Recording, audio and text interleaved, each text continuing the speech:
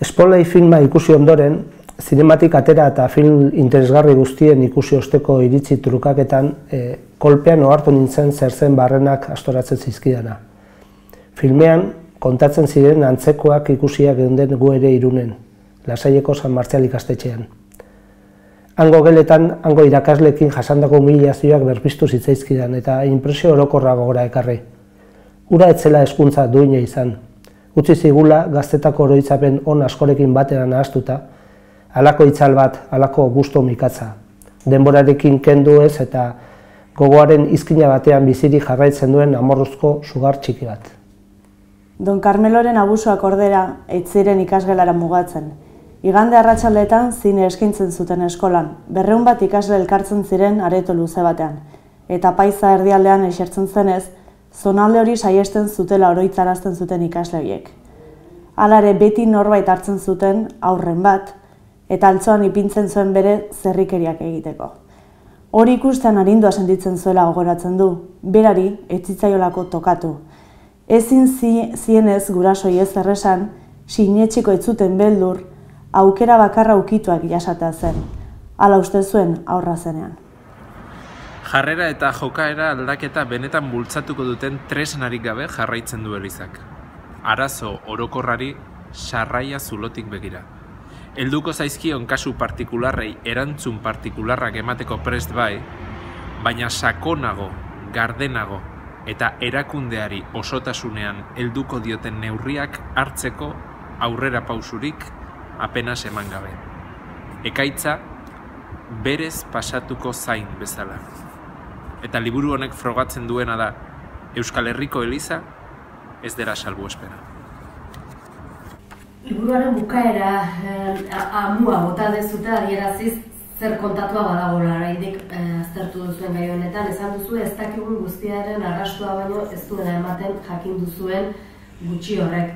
Eh, iruditu zaizue nolabait ere eh, izotz mendiaren figura erabiltzen da askotan, izotz mendiaren zea lagin txiki bat besterik ez dela erakus, e, e, ez dela erakusten liburu honetan badagoela oraindik ere e, ezkutuan asko. Zalantzari gabe, Alberto? Ba, batez ere hasi behar duguna da kontatzen abia puntua zein izan den.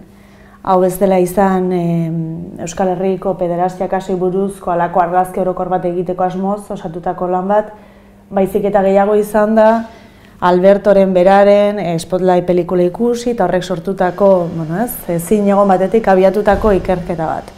Alegiari muturre itiraka osatutako lan bat.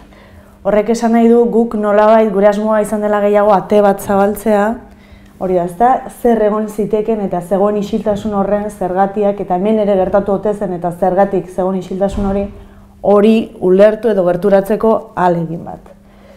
Kontua da, han gertatutakoa hemen ere galdetzerakoan, ez? E, isiltasun hori zergatik ulertzeko nahi horretan, ba, ate hori zabaltzerakoan ikusi dugula hori. Hemen ere gertatu zela, hemen ere isiltasun kiribi horrek e, funtzionatu edo egon dela eta badagola oraindik ere eta Elizak ere hartu dituen neurriak edo ez hartu ez dituen neurriak ere oraindik ere hemen baditugula.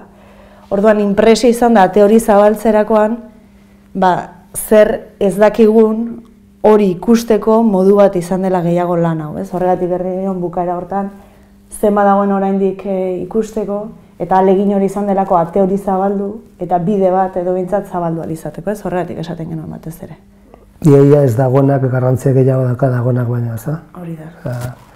Badaude kasuak eta gu ni gustot batzuk ezaguna dira, agertu direlako prentsan lehenago, beste batzuk ez ezagunak ziren, da badago jende asko lehen aldiz hitz egiten duna horrela eta bueno, publikoki edo bintzat jakinik publiko ingo dela, baina, baina oso kontziente gea, oso garbi dakagu e, zer, ba, zer zenbat dagoen isildu eta hori da hori da liburuaren ne ustez e, bueno, ekarpenik handienetako bat izatekotan e, zenbat isildu den da zenbat isiltzen den da gaur egun. Ze, kontestuari garrantzia handia eman diozu ez da, e, azaltzeko e, kasu bakoitzaren inguruko kontestu, kontestuari. E, eta kontestuan garrantzitsua da sexu abusuan mundua ezkutuan gertatzen da mundua da, oso mundu iluna da, eta elizak ere, ba, erakunde ilun eta opakorik bada, Eliza da. E, eragozpen handiak izan dituzu e, informazioa eskuratzeko gara? Bueno, e, eragozpenak e, izan ditugu e, jendea publikoki itzeiteko. Guk izan dugu jende inguruan, e, izan diguna, bai, nik ezagutzen dut hau eta hau eta hau, eta eta itzingo zenuke eta ez, ez dute izenik emango, eta esango zenuke e, haren e, arekin el, e, nola harrematen jarri eta ez, ez dizut hori izango. E, gero jende asko, ez, ez du bere izenik emana izan, eta e, bueno, sexu abusuen, e, sexu abusuen duten komponentetako bada lotxa, eta hori bendik oso, oso, oso barnean eramaten du jendeak eta, eta ulergarria da. Eta hortaz gain, e, bueno, e, presioak somatu ditugu, ez? E, bueltak ebilira eta oso kontzienteak gara hau liburu ezer osoa dela e, jende askorentzat eta eta eta bueno, ba, nahiago lukela jende asko liburu hau eta atako ez balitz.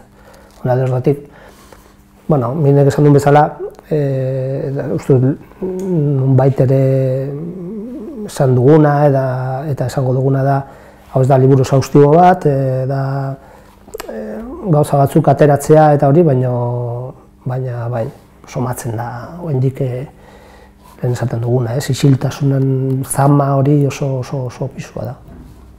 это меня.